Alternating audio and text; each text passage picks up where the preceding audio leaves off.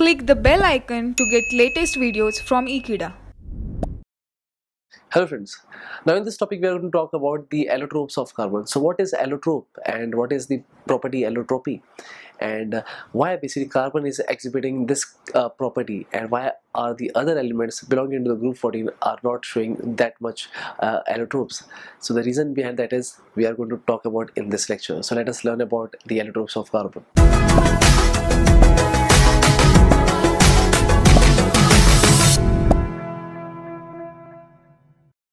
So before understanding the allotropes of carbon, it is very much essential for us to understand that what is allotropes and what is allotropy. So now let us discuss about this definition and then we are going to move on with what are the different allotropes of carbon. So let us first do that is what is allotropy of carbon and that is Allotropy is the phenomenon in which an element exists in different physical and uh, in different physical form and having different physical properties but they will have similar chemical properties so this is something that I want to talk about that is uh, a phenomenon or a property that has been exhibited by a, particular element to show a different physical form and to exist in different physical form. And uh, and those physical forms will be different in their physical property. While all the elements uh, means the different allotropes they will have the similar chemical property.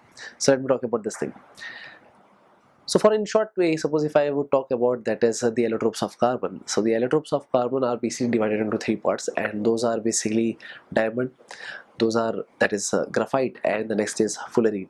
So this all substance that I have talked about, this all substance consists of carbon as the main component and only carbon and that's the reason that carbon has a tendency to form catenation and this all are the product of a catenation or, or, a, or a property where a catenation has been occurred so now the thing is this all are made up of same same uh, atoms similar atoms that is carbon and that's the reason that they are all are allotropes of each other.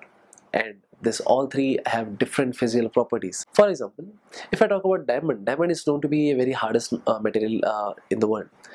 And uh, talking about uh, that is graphite. Graphite consists of basically carbon carbon double bond also but that is not that much hard as diamond. So here basically there is a difference in the physical property and talking about fullerenes. So fullerenes also have a certain uh, tendency uh, to form carbon carbon double bond. But this fullerene has also different physical property compared to that of the diamond and graphite. So that is how basically they are differing in their physical property but they are all made up of carbon. So therefore the chemical property would be the same. So in this topic i'm going to represent about what are the different uh, allotropes of carbon. So now let us talk about that thing also. So the carbon is basically divided into two parts. That is crystalline form and amorphous form. And talking about the crystalline structure so we have basically two main allotropes of carbon. That is what I'm going to talk about. And that is diamond and graphite. While talking about the amorphous um, carbon so we have charcoal and lamp black. So these are the two amorphous form of carbon. And uh, talking about charcoal so charcoals are made up of are also been further divided. That is they could be uh, obtained from animals also as well as uh, they could be also obtained from plants trees or wood we could say. So therefore the charcoal has been further divided into wood charcoal and animal charcoal. So let me discuss about this thing that is uh, charcoal is what we know that it is made up of carbon and that undergoes combustion reaction also. So as to give uh, amount of a certain amount of heat and that is basically an energy source uh, in various industries.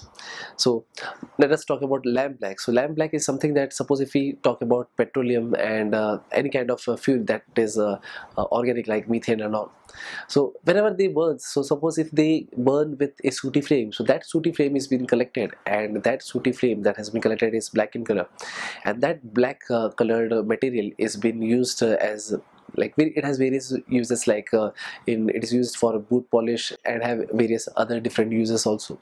So this is what i want to talk about the allotropes of carbon. And let us in the few lecture uh, that is we must talk about that is what is diamond what is graphite and especially what is uh, uh fullerene. Even the fullerene is a kind of allotrope that I want to talk about. So that's it. This is what I want to talk about the few concept about what are the allotropes of carbon and that's it Thank you friends for watching this video. I hope you have understood this video very clearly and you have got to know that what are the different allotropes of carbon. And let us talk in the next lecture about the diamond, fullerene and graphite. So thank you friends for watching this video and I hope you will share this video with the friends and yes, don't forget to subscribe Ekeeda channel. Thank you so much.